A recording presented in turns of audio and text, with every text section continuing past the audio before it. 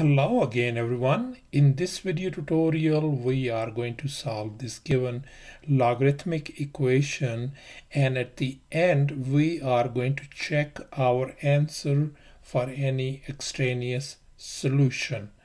So let's go ahead and simplify this big long kind of problem by using this fact.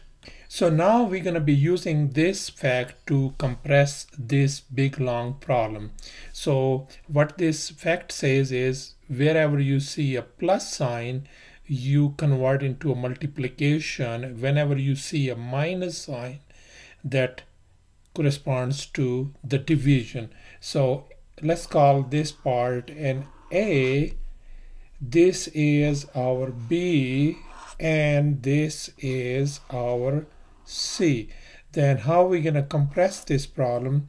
So our problem is going to look like log of, this is our A, you just put down x plus 2 time, this is our B, I'm put down x minus 2.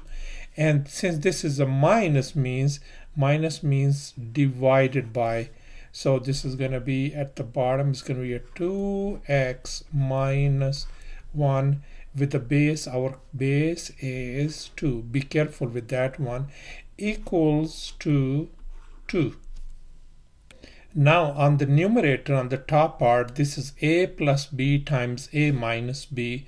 So that will translate into x square minus 4 divided by 2x minus 1 at the bottom with a base 2 equals to 2 and if you are wondering how did we get uh, x square minus 4 on the top here is the fact I use. You just use FOIL method or distribute and you're gonna get x square minus 4 so the next step we want to convert this logarithmic equation into an exponential one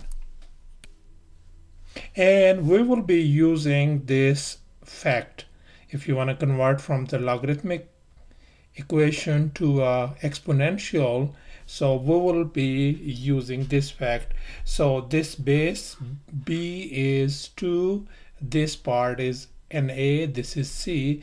So we can write this one as x square minus 4 divided by 2x minus 1 equals to 2 power 2. So let's go ahead and do the next step over here. On the top we have x square minus 4 divided by 2x minus 1 equals to 2 power 2 is 4. So far so good. Now we wanna get rid of this fraction. If you wanna get rid of a fraction, let me show you an easy way. This 4 could be written as 4 over 1. Now I want you to go ahead and crisscross multiply. So cross multiply, multiply this way and multiply that way. That's super easy way. So if you use that one, if you go this way, 1 times x square minus 4 is same as x square minus 4 and if you go the other way around 4 times 2x minus 1 becomes 4 times 2x is 8x minus 1 times 4 is negative 4. Now we want to solve for x. Let's see if, if you add positive 4 and positive 4 on both sides so this negative four, positive 4 is gone. This negative positive 4 is gone. We ended up with x squared equals to 8x. I want you to move this 8x on the left hand side. So that's going to be pretty simply it becomes x squared.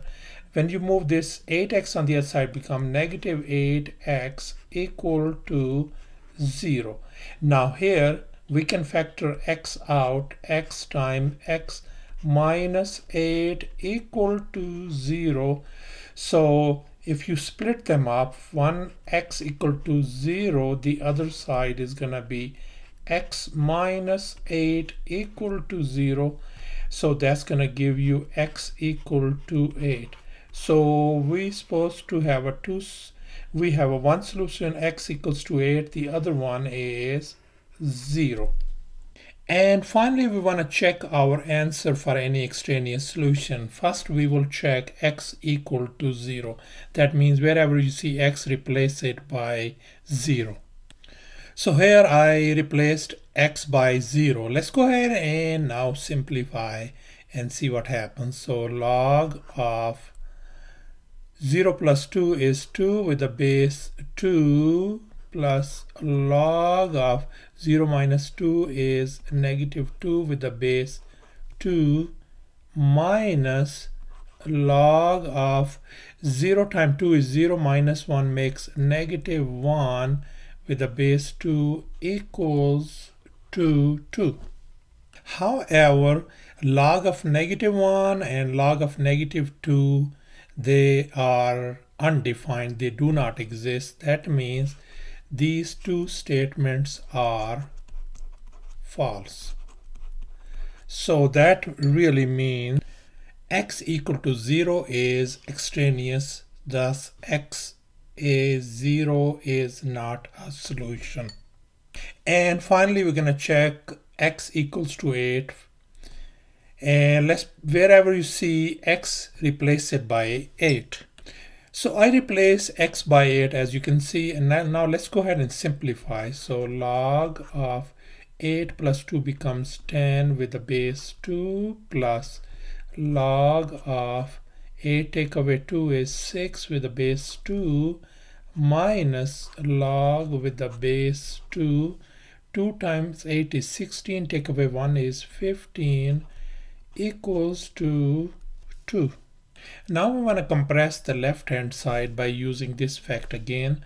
So this could be written as log of 10 times 6 divided by 15 with the base 2 equals to 2. So this becomes log of on the top is 60 divided by 15 base 2 equals to 2 15 goes into 60 four times base 2 equals to 2 and now let's convert it into exponential form by using this fact on the right hand side.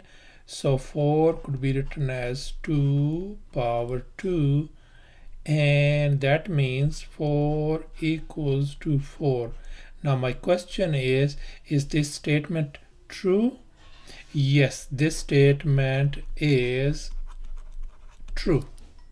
Thus, x equals to 8 is our solution. Hence, our solution set is x equals to 8 is the only solution. Thanks for watching and please subscribe to my channel for more exciting videos.